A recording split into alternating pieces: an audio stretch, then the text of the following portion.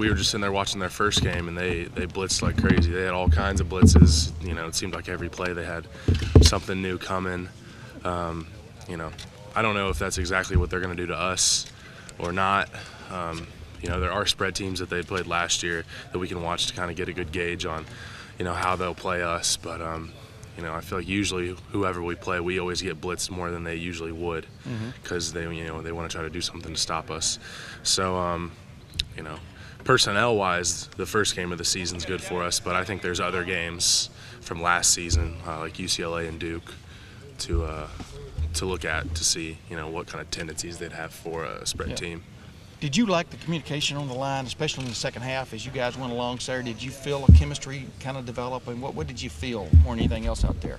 Yeah, I mean, with everybody being new, there there were some communication issues, and you know, they messed up some of the plays, which, you know, if unless you were out on the field, you wouldn't know about, you know, well, you know, communicating the front or where a blitz was coming from or the ID.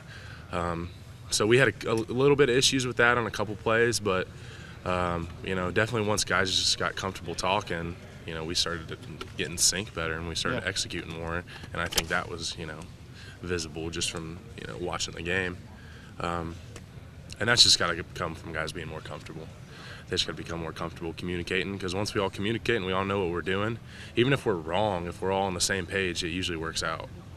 So there's a lot of room for growth there on the line in particular, you think? Definitely. Just getting to know each other a little bit more and Yeah, and I mean, I, I definitely think you know we showed a little bit of you know youth and an experience, which you know I think that's kind of to be expected. But like I said, in the second half, once I think guys get, kind of got their nerves out and got comfortable communicating, um, we played a lot better. I thought, and biggest improvement I think is game one to two.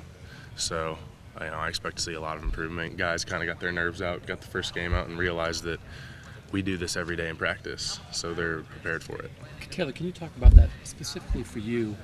You know, last year, you know, your first game it was like Yeah. playing against a guy who ended up being one of the best defensive players in the country. Mm-hmm. And then here you go for game two. You know, what was that week like for you in between game one and game two? You're talking about that is such a thing for improvement. You went through it. What was Right. the experience like? I mean, I think you know you finally realize what the game environment is like, and you really have to focus in on your preparation.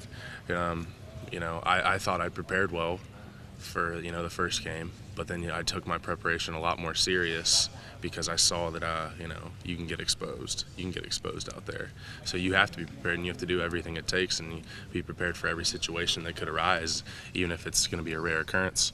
So. Um, you know, I think guys will just have to learn how to prepare. You know, you can always prepare better. You can always do more. Always watch more film. So, uh, you know, I just think taking taking the preparation more seriously and focusing in on that for guys who, you know, maybe have never done that before.